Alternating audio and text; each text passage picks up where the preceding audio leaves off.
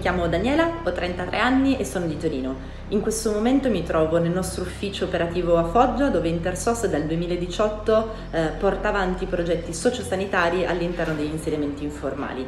Io mi sono trasferita a Foggia quasi due anni e mezzo fa eh, per coordinare i progetti sociosanitari all'interno della cosiddetta capitanata. Eh, come team in questo momento ci stiamo preparando ad affrontare quella che sarà in tutti i sensi la stagione calda eh, per continuare a garantire un servizio, un'assistenza sociosanitaria per tutte le persone straniere che si trovano a vivere all'interno di questi insediamenti che sono contesti molto difficili.